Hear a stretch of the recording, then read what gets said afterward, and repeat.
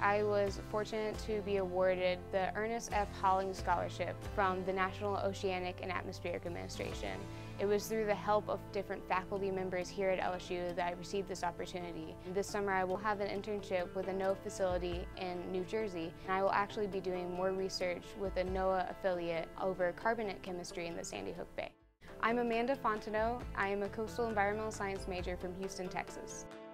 I found myself at LSU after I participated in a Ocean Trivia Bowl in my high school. I searched for majors that had oceanography and environmental science, and I found the College of the Coastal Environment here at LSU.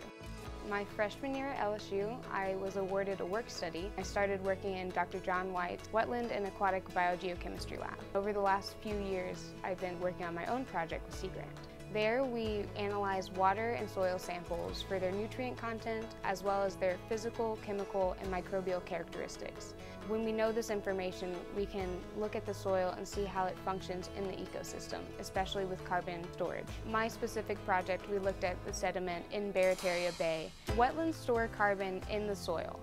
However, when these wetlands erode, this carbon can further decompose into carbon dioxide. The wetlands that are eroding are now a source of atmospheric carbon. More carbon dioxide in the atmosphere will go and have further implications for climate change, for warming, and for sea level rise. In coastal Louisiana, we're losing lots of our wetlands very, very quickly. So the data here that we gather in the lab helps us understand the value of these wetlands and ecosystems, as well as different ways we could protect them, such as marsh creation or sediment diversion projects. I came to LSU because I wanted to be in the College of the Coastal Environment.